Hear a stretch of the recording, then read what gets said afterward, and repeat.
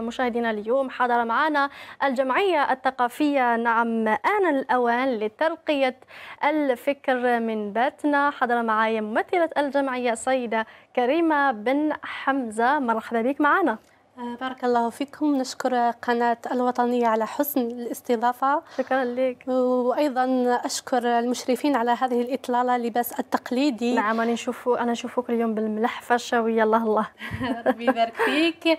نشكر المشرفين أحمد الساعق المصمم المشهور في ولاية نعم. باتنا وأيضا الستيليست آه، رمزي بوضياف. نشكرهم هما اللي خيروا لي الإطلالة هذه. باش نظهر بها اليوم لنمثل الأوراس الأشم. نعم تحية لهم وتحية الناس آه، الأوراس. طبعا يلا كريمة بالك الجمهور حب يعرف النشاطات الجمعية أو تعرفينا قبل بالجمعية الثقافية. آن الأوان. جمعية آن الأوان لترقية الفكر هي جمعية آه، ذات طابع ثقافي تنشط في المجال الثقافي بالدرجة الأولى وأيضا تنشط في آه، مجالات أخرى تحت عنوان لجان متنوعة منها لجنة نعم. التطوع الخيري ولجنة الشباب. الشباب والثقافة. آه، هذه الجمعية تأسست 22 فيفري 2021 آه، بعد التأسيس لهذه الجمعية آه، بادرنا بنشاطات مختلفة خاصة في أزمة كورونا. نعم. صنعنا الكمامات ووزعناها على مختلف المؤسسات منها الجامعات نعم. ودنا حملات تحسيسية لفائدة الطلاب للوقاية من فيروس كورونا. ونشطنا في مجالات عدة يعني. نعم بالك علاش خيرتوا المجال الثقافي يعني اللي تنشطوا فيه؟ طبعا نحن عندنا ميول للثقافة الجزائرية بصفة عامة وثقافة ولاية الأوراس عندها ثقافة مميزة. التنوع الثقافي للجزائر هو عبارة عن ثروة يجب أن نحافظ عليها أكيد نعم. ونفتخر بها في كل المجالات وفي كل المهرجانات الدولية والوطنية. طيب كلمه تعرف تعرفين أكثر بالنشاطات الجمعية اللي تقوموا بها. طبعا آه، عندنا نشاطات مسابقات للشعر والشعراء. درناها في جامعة حاج الخضر درنا معارض للكتاب. درنا بمناسبة اليوم العالمي للغة العربية آه، نعم. جمعنا الكثير من المؤلفين اللي ألفوا كتب وساهموا في إثراء الرصيد الثقافي. وأيضا نشطنا في مجال آه، طبعا البيئة.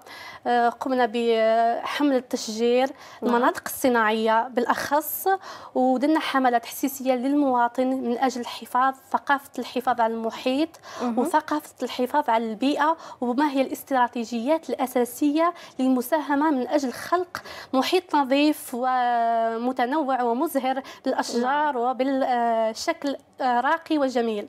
هذا كله يعني في وقت صغير يعني من 2021 2022 ماشي بزاف. طبعا كنا ننسقوا كل شهر نديروا الشهر هذا واش حنخدموا زوج نشاطات ولا نعم. ثلاثة. نحددوا الموعد تاريخ النشاط والبرنامج واش حنساهموا فيه. وأيضا أنا يعني قبل ما نكون أسست هذه الجمعية نشط في جمعيات أخرى جمعية جوسو لحفظ الذاكرة كنت عضوة فيها تحت نعم. رئاسة السيد سامي مهناوي ورانا يعني كسبتي الخبرة أكثر. طبعا. وأيضا رانا نوجدوا مع جمعية جسور لحفظ الذاكرة مهرجان آه، طبعا ملتقى وطني. آه، هذا الملتقى في 20 أوت حيكون نعم. آه، لحفاظ ثقافة حفاظ على الذاكرة تحت رئاسة السيد طاهر علي العدنان الذي نشكره من هذا المنبر لمجهوداته نحو حماية التراث وحماية طبعا الذاكرة. طيب علاش لترقية الفكر؟ طبعا أه. نحن اخترنا كلمة لترقية الفكر لأنه من خلال ممارساتنا آه، وإعطاء نماذج للشباب نحاول نرقي الفكر الشاب بالدرجة الأولى نعم. والمواطن بالدرجة الأولى أيضا من خلال ممكن ملتقيات وطنية آه، حملات, حملات تحسيسية نعم. نعطيه مثلا كان ممكن آه، كان مواطن يهز يعني ورقة ولا وهي نرميها يقول لك يعني مش حنديرها في جيبي نرميها أحسن ممكن هذه هذه الورقة زائد الورقة تولي قمامة تولي هذه بفكر خاطئ تساهل المواطن. حنوليو في آه، طبعا نعم. تلوث المحيط. لكن كي نوعيو المواطن نرقيو الفكر تاعو باللي هذيك ممكن ورقة صغيرة تحطها في جيبك نعم. وتخليها ترميها في المكان المناسب لها. آه طبعا هذا فكر راقي تصرف راقي لمواطن راقي طبعا. أكيد نعم. وشنو هي الاستراتيجية بلاك اللي تعتمدوا عليها لتغيير آه، الفكر اللي ماشي مليح دائما.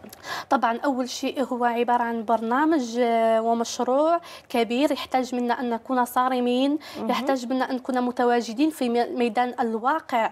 نعم. يجب أن نكون ندافعوا على طبعا الفكر تاعنا على خاصة في ظل تكنولوجيا المعلومات والتطور والرقمنه أصبحت وسائل الاعلام الاتصال كان فيها يستغلها في طريقة إيجابية وكان يستغلها بطريقة سلبية سلبية. أكيد طبعا نعم. كان اللي يستغلها أجل تحطيم الفكر الإنساني وكان اللي يستغلها من أجل رفع وتنمية الفكر. إحنا نحاولوا نشاركوا بتنمية ورفع الفكر من خلال آه، آه، دراسة وتحقيق آه، أهداف منشودة منها توعية المواطن بفائدة قراءة كتاب ورقي. أحسن من أن نقعدوا ساعة في المواقع التواصل للكلام بدون جدوى. كاين طريقة سهلة يفهموها شباب اليوم لأنه الطريقة القديمة بالك نعم طريقة قديمة ما دخلتش الفكر ديالهم ما ساهمتش باش تغير أشياء من قبل. طبعا إحنا الشباب تاعنا في أنا في عصر العصر نقدروا فلغه الخشب يعني ما تنفعش الآن. طبعا ذكاء الأسلوب تاعك ممكن ديري نعم. فيديو ولا فيلم قصير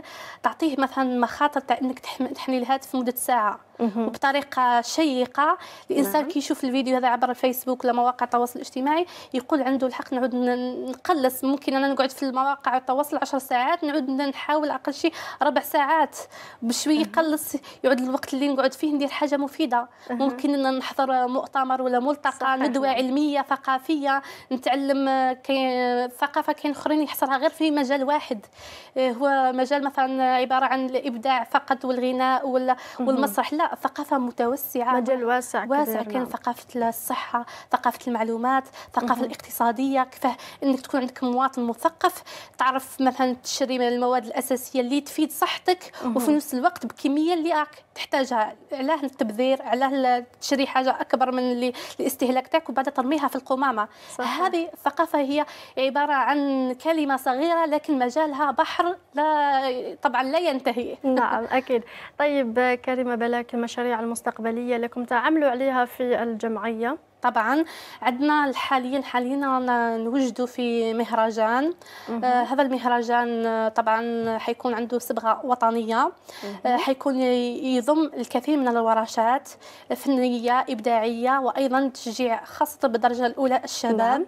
ونشكر سيد الرئيس الجمهورية عبد المجيد تبون الذي آه، دعم دعم. فئة الشباب ودعم أيضا المرأة الجزائرية آه، بنص قوانين آه، طبعا تدفع لها الأمل من أجل تحقيق إنجازات أكثر من طبعا من اللي راهي تحلم بها من خلال القوانين وتسهيل نعم.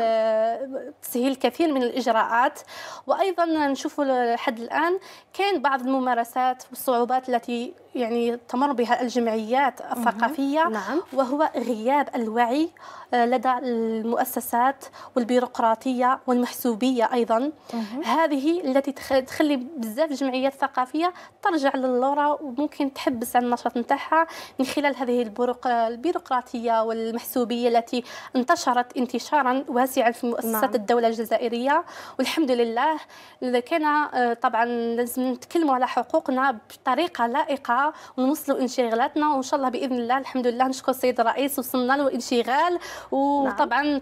رحب بينا ورحب بانشغالنا ولقينا تهميش لكن هو وكان في حلول لهذا طبعا كان في حلول ونشكره على هذا المنبر لأنه كنا حنديروا مهرجان وطني لكن للأسف مدير مديرية الثقافة آه، همش هذا النشاط. إحنا رفعنا طبعا الانشغال تاعنا للسلطات العليا لقينا رد ولقينا يعني آه، تفهم وتشجيع أيضا. هذا نعم. بارك الله فيكم من وزارة الثقافة والسلطات العليا. نعم تحية لهم وتحية لكل أعضاء آه، جمعية آنا الأوان لترقية الفكر. بارك نعم الله. شكرا لك سيدة كريمة على قدومك معنا لنهار آه، اليوم. كلمة أخيرة تقوليها معنا. نعم توجهي للكاميرا. أول شيء آه، نتوجه لكل المشاهدين بأن الثقافة هي عبارة عن محور أساسي نعم. للمواطن ويجب أن نساهم في بناء هذا نعم تفضلي. في بناء هذا المحور الأساسي وهو بتسخير الطاقات الشبابية لبناء مجتمع راقي مثقف يعرف الحقوق تاعو ويعرف الواجبات تاعو ويقدر آه، يدفع بعجلة التنمية نحو الأفق. نعم شكرا لك كريمة وبالتوفيق للجمعية لجمعية آن الأوان لترقية الفكر. بارك الله فيك شكرا. نعم. شكرا لك مرة ثانية إذا مشاهدينا الآن. خليكم مع فقرة الرياضة مع الكوتش فؤاد وبن يوسف. نحن نشوفوا رياضة الجيدو لنهار اليوم.